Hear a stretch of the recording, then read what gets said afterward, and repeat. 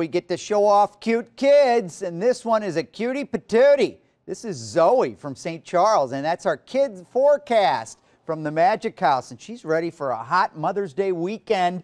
Gonna be a scorcher, Zoey. Be ready for it. Partly cloudy and hot tomorrow with a high of 91. Sunday's high 92, and the humidity going up.